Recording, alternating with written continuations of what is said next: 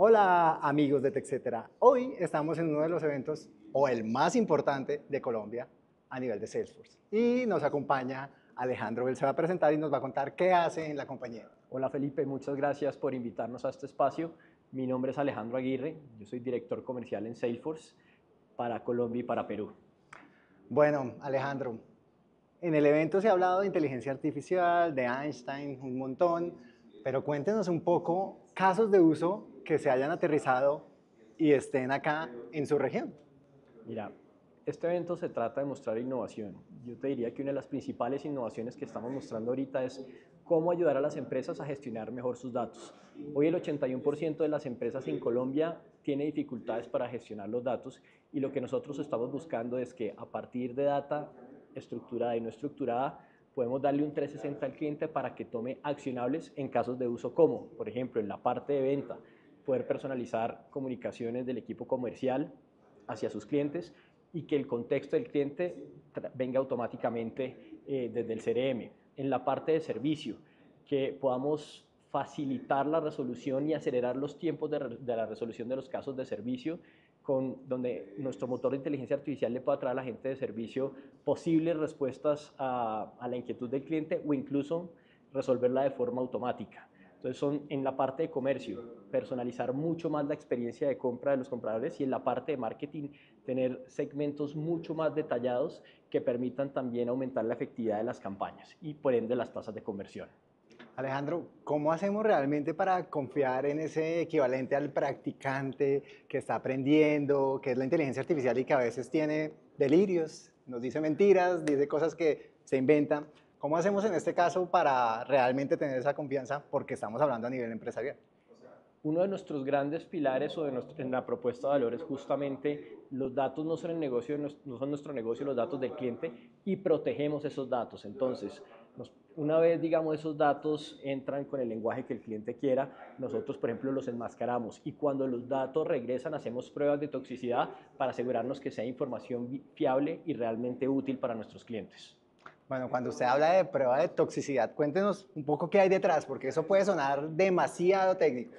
Básicamente es ver que no hayan, por ejemplo, vicios en cuanto a género o en cuanto a raza o componentes políticos o cosas que puedan ser nocivas para el negocio. Es simplemente revisar que la información se pueda considerar fiable y objetiva.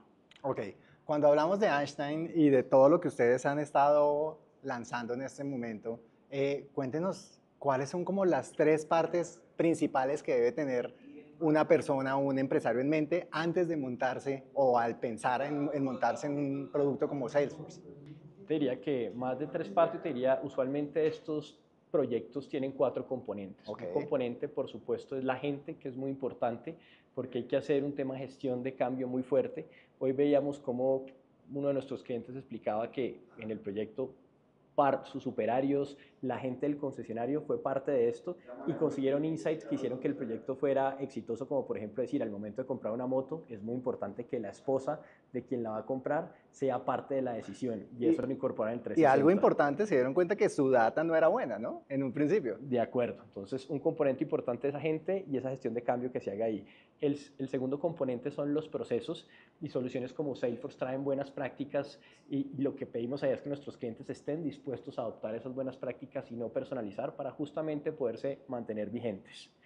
El tercer componente muy importante, ya lo mencionamos, es el tema de datos. Hay que tener una madurez en cuanto a, venga, qué tan fiables son mis datos, qué tan limpios los tengo, qué estrategia tengo para mantener el gobierno y la vigencia de mis datos. Y el cuarto componente es la tecnología, que por supuesto somos nosotros y pues somos líderes a nivel mundial en todo lo que es experiencia al cliente. Bueno, Alejandro, hoy vimos que hablaban de nuevas alianzas. Cuéntenos un poco porque antes como que cada sistema andaba por su lado, los datos estaban por allá encerrados, pero ahora ustedes hablan de compartir, por así decirlo, los datos con cada una de las áreas de la empresa. Sí, hoy estamos en un mundo interoperable y nuestros clientes no tienen un solo vendor de tecnología, tienen muchos.